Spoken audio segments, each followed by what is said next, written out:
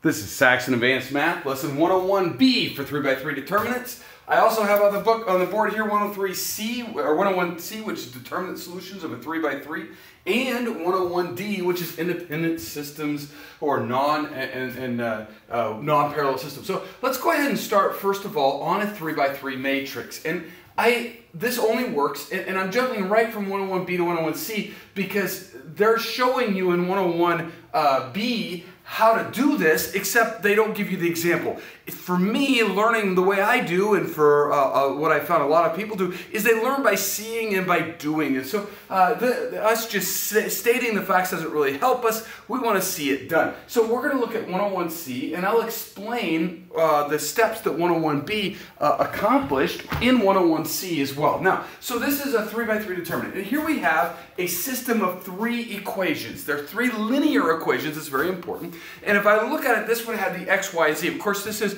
uh, coordinates in three-dimensional space, and, and so we have an x coordinate, a y coordinate, a z coordinate, letting us know exactly where that, that, that three-dimensional object sits, right? Or that three-dimensional line passes through. And what we're looking is for the intersection of those three. Now, we've already introduced this way back early in the book, and when we did so, we had to solve this by saying, well, I could eliminate these two or substitute with these two, eliminate or substitute with these two, come up with an answer, and then uh, uh, eliminate or substitute with that answer, and then come up with one variable, and then work our way all the way back. And that was useful. However, a 3 by 3 matrix is a lot faster and a lot quicker as far as the accuracy goes. Now, the book has a big warning in there. Do this with a friend or do this with a partner. And the reason being is, is something about when we're adding uh, multiplying, adding, multiplying, adding, multiplying, adding, it's very easy for us to forget which one we're doing in which order and to add, add, then multiply, multiply instead. And so when we're working with these, if you're very careful, they're not terribly hard. And I'll show you how to do them,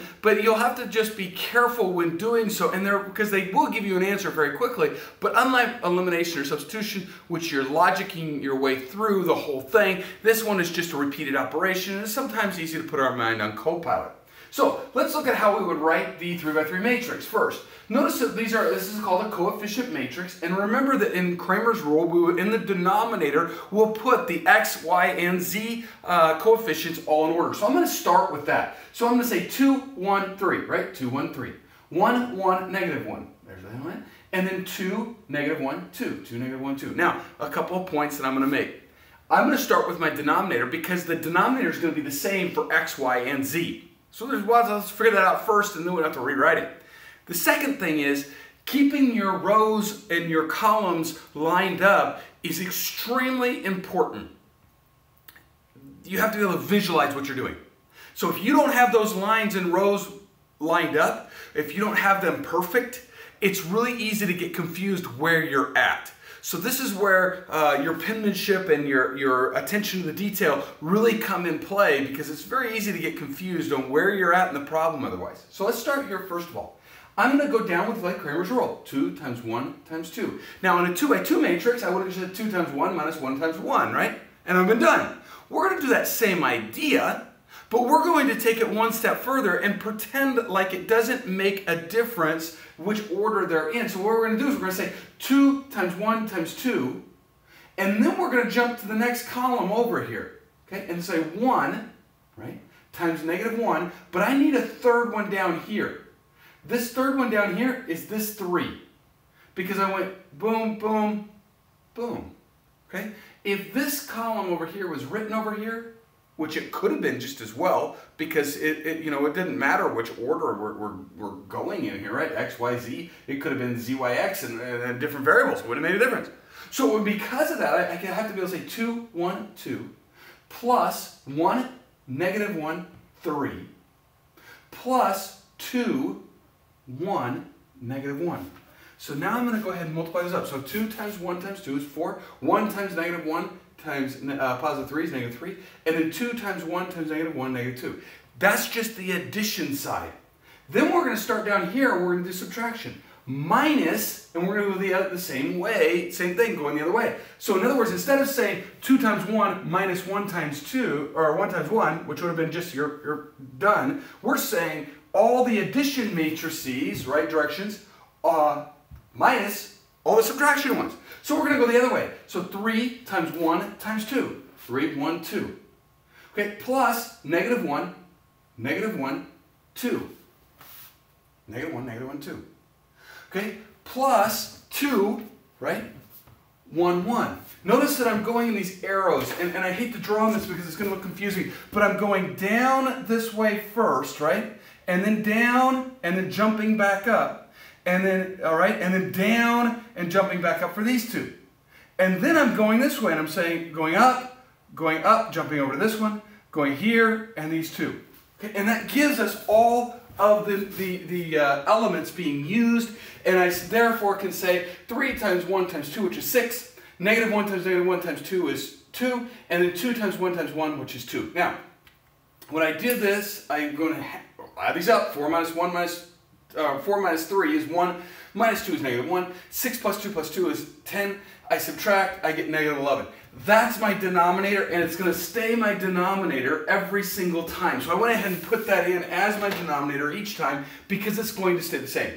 Next, I need to move up to the numerator, and on the numerator, I'm going to do the same exact operation, except when I'm solving for x, I use these three in the x elemental column. So this column here becomes 7, negative 2, 16, just like I would normally do in a, in a 2 by 2 matrix. And, but then I move over to the y's, 1, 1, negative, uh, 1, 1, negative 1, right? And then I've got 2, negative 1, and 2. And I'm missing a negative here. I apologize for that. Okay, so, and then when I go ahead and multiply these out, they are, going, and I do the same thing, 7, 1, 2, right? 7, 1, 2, 14, right? I can skip the steps if I just multiply down. 7, 1, 2, 14. 1, negative 1, 16, negative 16, right? 2 times negative 2 times negative 1, right? And that's going to give me each one of these, uh, uh, 4, which is going to give me each one of these elements. Then I can go 16 times 1 times 2, 32. Negative 1 times negative 1 times 7, 7. And then 2 times negative 2 times 1, negative 4. Now, when I do this, I use the subtraction in the middle, and if I, I'm skipping some steps, but you can see it, negative 33, negative 33 over negative 11, right? Because that's my negative 33, negative 11, and that gives me 3 for the x value. Okay, this is, is simple because I'm going to repeat the same operation twice more. But I want you to notice something here. I'm going to jump down to the z. So remember we're going to put the 7, negative 2, 16 in for the z column and the other columns stay the same.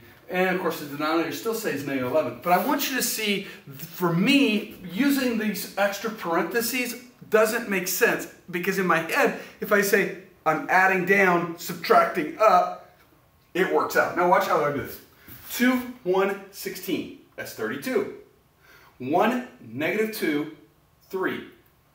Plus a negative 6. 7, 1, negative 1 negative 7.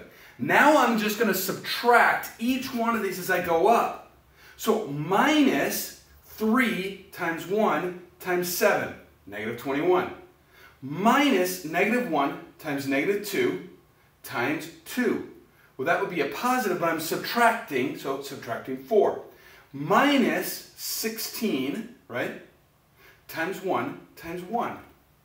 Now I can just do this. 32 minus 6 minus 7 minus 21 minus 4 minus 16 negative 22 negative 22 over negative 11 still the same denominator equals 2. And I can solve these out very quickly by coming up with my x, y, and z values just by moving the coefficients on the uh, constants into the coefficient spot, spot for x, then for y, and then for z. And I don't have to go all the way back and rework the whole problem every time. My determinant stays the same, um, and I get the correct answer. Now, a couple of things we have to be careful of. First of all, what is an independent system?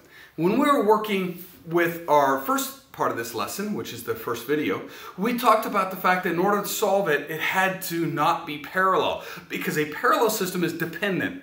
So these are independent. These are two ways that I'm going to know that they're going to be independent systems. One, no row in the coefficient matrix is a product of a constant and the members of another row.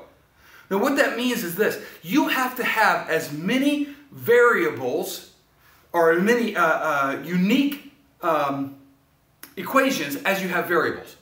If you don't, you can't solve it. In other words, if I gave you an equation that had two variables in it but only one equation, your best you can do is tell me the equation of the line in, in y equals mx plus b format. You can't go back and tell me this is exactly what x is and exactly what y is because as x changes, y changes. And so you have too many variables. But if you had two equations with two variables, it might be solvable if one of two things were true. They're unique equations and they're not parallel. That's all this is saying here. They have to be unique equations.